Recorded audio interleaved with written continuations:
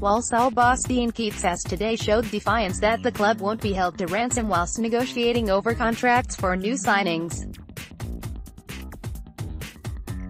In an interview with Express and Star Keates said that he was close to completing his third signing of the summer but the player in question asked for more money and continued to move the goalposts, so Deano pulled out of the deal, they kept moving the goalposts and I got to the point where I felt enough was enough.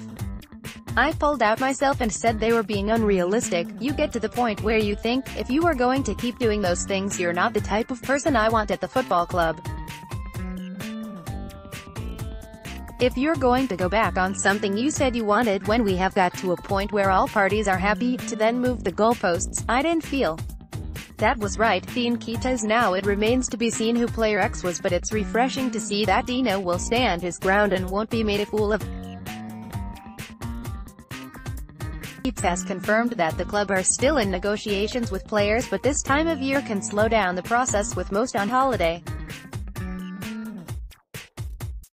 Taking the only players in contract. This is how our squad lined up so far. Goalkeeper, L. Roberts Defenders, Devlin, Kinsella, K. Roberts, Guthrie, Leahy, Cockerill Mollett Midfielders, Chambers, Dobson, Huhire, Tsanga, Ginnelly, Morris, Hales Doherty Strikers, Bakayoko, Candlin, Cook Just seeing the quality and depth in that squad above sends shivers down your spine, although we are only in June and there is still nine weeks until the football season.